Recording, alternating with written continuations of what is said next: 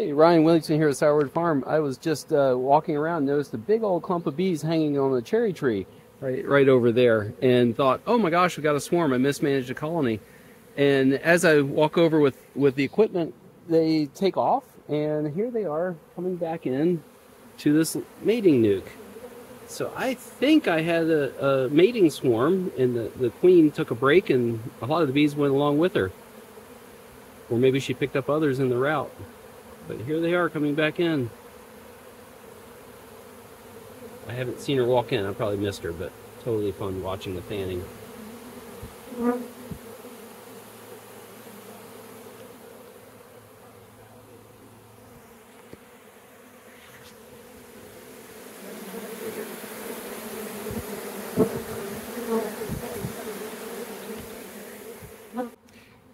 When the when the swarm was uh, bivouacked, I was getting my stuff together. I typically take a frame. Uh, this one's got nectar in it, but I take a frame like this and then put this uh, dead queen pheromone that has, yeah, so it's dead queens, rubbing alcohol, and lemongrass oil. And I'll put that on the comb and hold it up in the air like a, a flag, and the bees will land on it. And here they are just smelling that. And it smells enough like the queen they were following that they landed on here. So I guess I better go put this away so they can go back to their mating nuc. Got to thinking that it could be that I made it up too strong, and if I made them up too strong, sometimes a nuc will make up their own emergency queen, but also at the same time keep the queen that I gave them, the queen cell, and then they'll throw off a swarm with that queen that I gave them, and then they've got their own virgin coming out soon thereafter. So it's just it's probably not a smart idea in some ways to open up this nuc right after a potential mating swarm, but also could mean that if I find queen cells, I know what's going on, and I might be able to tear those down and have the bees not throw out a swarm again. Cause it could be that they did practice swarm or something, and virgin came back, but then that they will um, try again tomorrow or something. So let's just take a peek. Wow, they're strong. I does believe, do believe I made this one up pretty strong.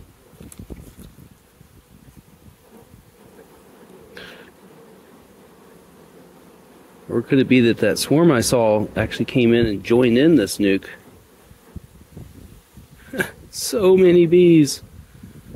I made up the original nuc with, aha, look at that. Uh, there's a ball of bees down there. So the original nuc was made up with two frames, one frame of brood, I mean, one frame of stores, two frames of brood. I'm pretty sure we're seeing a little tussling going on down below. There's a queen being balled. Get a little bit more in there.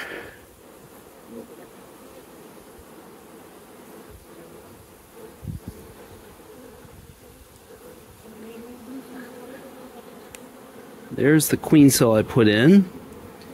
Brood is mostly hatched out.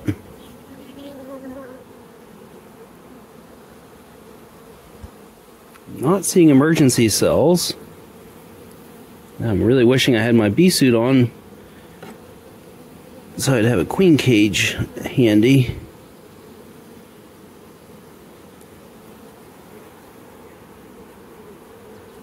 More no no emergency cells, so that's good. But clearly there's some balling happening down here, so we're just gonna carefully cooking a queen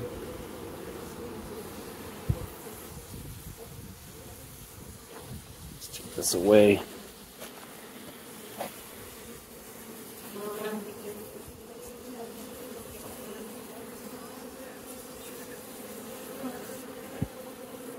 There's the virgin. She appears healthy. Alright, got her. Oh, she's got her with the other hand, holding the camera. Haha.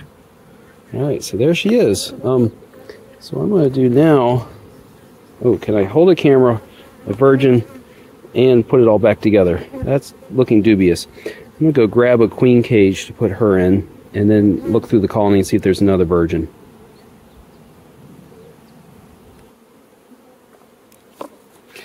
Okay, so got this virgin in my hand here, and I'm really wanting to mark her, but she's crawling around in my fist, so a little bit leery on that.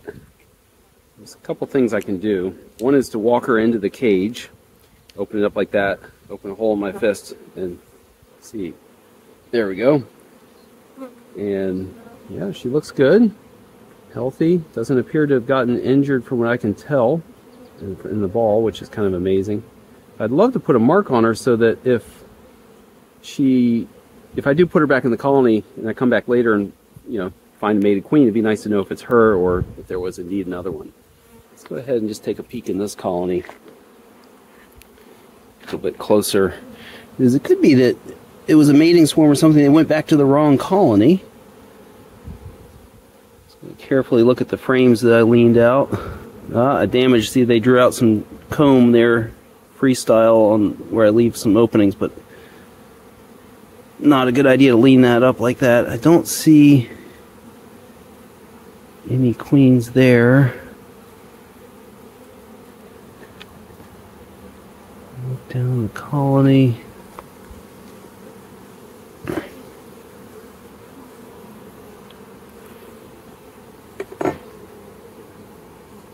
So many bees. It definitely seems stronger than I remember making up this nuc.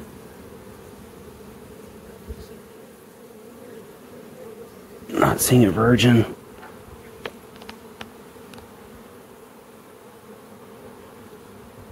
Not on that frame.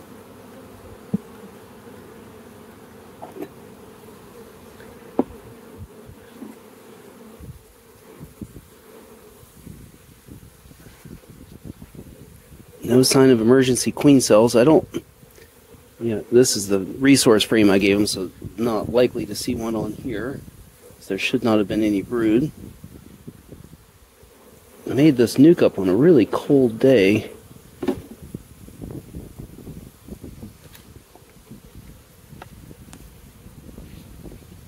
Grab this frame here.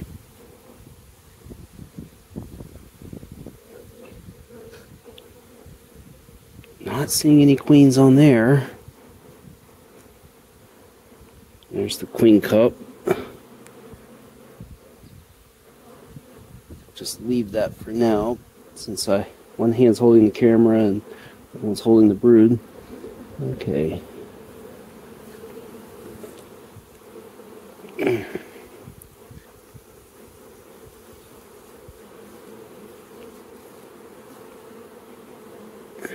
Oh, that really, that comb was so soft. I should not have laid that, should not have done that vertical. To believe that this colony is strong enough.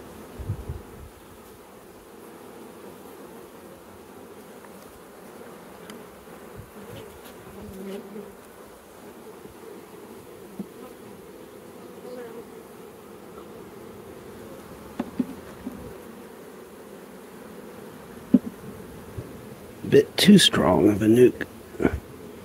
But they will, once there's a queen laying, they will draw comb so fast and I think they're going to be awesome. Alright.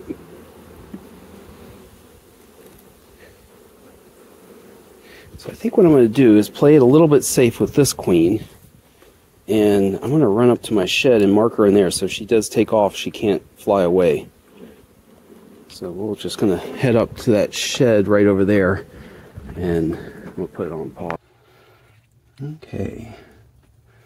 Let's see if I can get this queen out without her flying.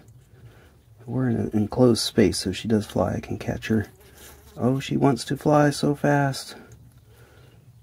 Alright. Carefully holding her between my fingers. Try to turn her in a way that I can get to her thorax. She was mated, I might also clip her wing, but she may need to take another flight or two, so we're not going to do that. There we go. Nice blue paint on her. Give a little Alright. Now I'm going to walk her back into this cage. And we'll head back down to the bees. Thought was that if she took off, she might um, end up going the wrong place. So what I'm going to do, since they were being a little aggressive towards her, is go ahead and put her back in the colony. I didn't see any emergency qu- queen cells, but I'm going to put her, you know, if I saw emergency queen cells, I think they'd have another queen virgin, something like that going on. They might really be aggressive, but starting to wonder if maybe they picked up other bees when they did this strange swarm. It's the biggest swarm I've ever seen, mating swarm. It was about basketball size, and seeing all these bees, that's a lot. So I'm not sure exactly what's going on, but we'll go ahead and put her in here caged. And doing it caged just so that she's protected as they accept her. Hopefully she doesn't need to take another mating flight really soon, but she's not caged. I'm worried they might ball her again and kill her. So yeah, it's just this is so interesting, and I love bees. They're so unique, and I get to play in them every day and find these you know, just kind of questions like what's going on. Uh, I love just the mystery and the, they're so wonderful. Ah, so cool. Thanks for joining in.